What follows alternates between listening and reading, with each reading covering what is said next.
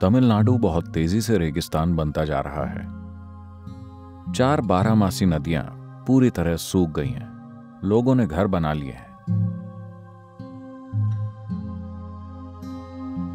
UNICEF के अध्ययन से पता चला है कि 2025 तक तमिलनाडु की 60 फ़ीसदी ज़मीन खेती के लायक नहीं बचेगी और वो रेगिस्तान बन जाएगा। मेरे ख्याल से और तेज़ी से ऐसा होगा। जब तक कि कोई प्रबल कोशिश न की जाए। जिस ज़मीन ने हज़ारों सालों से हमें पाला है, उसके साथ हमने एक पीढ़ी में ऐसा कर दिया। ये कोई मज़ाक नहीं है। ये विपत्ति का आह्वान है। ऐसा लगता है मानो हम इस धरती की आखिरी पीढ़ी की तरह जी रहे हैं, जो बहुत दुखद है। अगली पीढ़ी, हमारे बच्चे, हमें बहुत घृणा के साथ देखेंगे। यह भूमि जो कभी बहुत उपजाऊ थी, इसकी दुर्दशा को देखकर सदगुरु ने प्रोजेक्ट ग्रीन हैंड शुरू किया।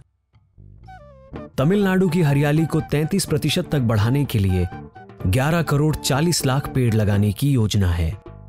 पर्यावरण का यह मुद्दा, जो बहुत ज़्यादा महत्व नहीं रखता था, अब एक जोरदार जन आंदोलन में बदल गया है। हर उम्र और तबके के लोग शरीर व दिलो दिमाग से इस आंदोलन से जुड़ गए हैं। इस परियोजना ने तीन मुख्य रूपों में समुदाय को अपने साथ जोड़ा है। Trees for all trees for all योजना के अंतर्गत वॉलेंटियर राज्य भर में पौधों को बांट रहे हैं।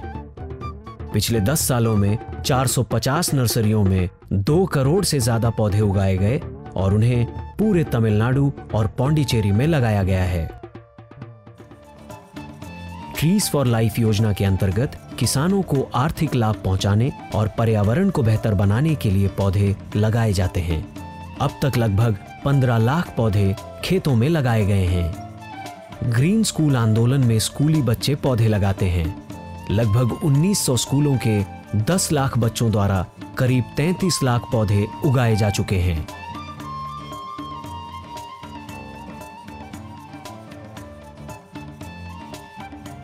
प्रोजेक्ट ग्रीन हैंड्स को कई पुरस्कार मिल चुके हैं, जिनमें भारत का सर्वोच्च इंदिरा गांधी पर्यावरण पुरस्कार भी शामिल है।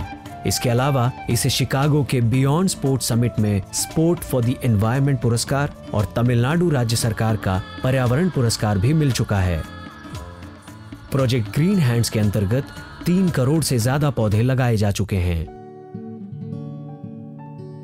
हम अगली पीढ़ी के लिए किस तरह का जीवन बनाते हैं? ये इस पर निर्भर करता है कि हम इस धरती की तरफ़ कितना ध्यान देते हैं।